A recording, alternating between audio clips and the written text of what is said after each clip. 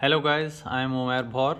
Uh, after many days so I wanted to show you that how my both rags are working with my improved pistons. I, I have worked I mean made a couple of various various various uh, experiments of big piston and Delrin and brass and various pistons. So now uh, you can see it's uh, the bottle pressure is around 200 bar a bit uh, above 200 bar right. Uh, uh, you can focus it. Please come close. Right. So it is. Right. And now I show you the reg pressure of first stage. This is the reg pressure of first stage. Come close. Make it clear. Right. Now I am going to fire it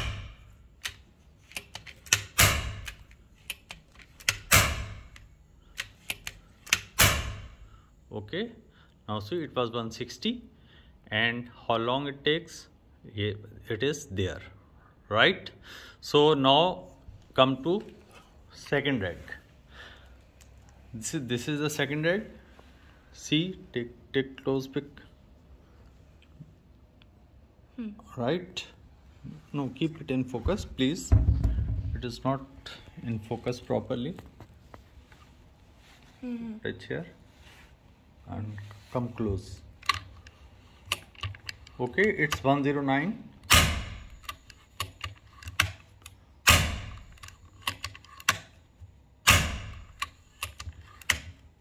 basically this, these are digital gauges. These are a bit slow in reading but still you see it comes back quickly. So this is how my rags uh, I mean recover quickly. Thank you yes now I have installed all the three analog gauges. This is the bottle pressure right? And this one is the rag pressure with analog gauge right? You can see I have installed analog gauges because these I mean look very quick uh, recovery uh, in uh, digital gauges. Uh, they, they sometimes take time but these are more responsive. Similarly this second regulator show this one. This is also now analog. So let's see the recovery time. First with the first rag keep in focus please. Yes. I'm going to shoot. Sorry this is the bottle side. My mistake. Okay all right. This is around 160 or a bit more. It went down and just in a second it comes back. Exactly there right? You can see how exactly it behaves like this okay now let's come to the second second rag gauge. Please focus this one.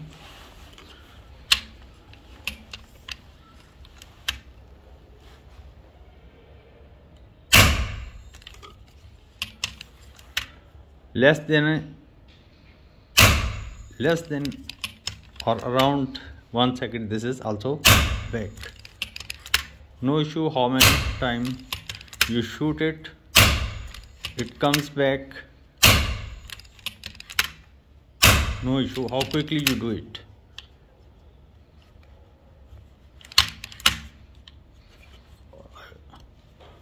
Sorry fire.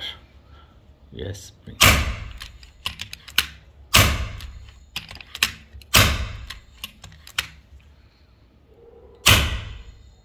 so guys this is today's video that how I improved my both the rags both are behaving uh, very good. And there is only I mean uh, the adjustment which through digital gauge I can monitor. Uh, that is uh, just one bar uh, variation with the passage of time.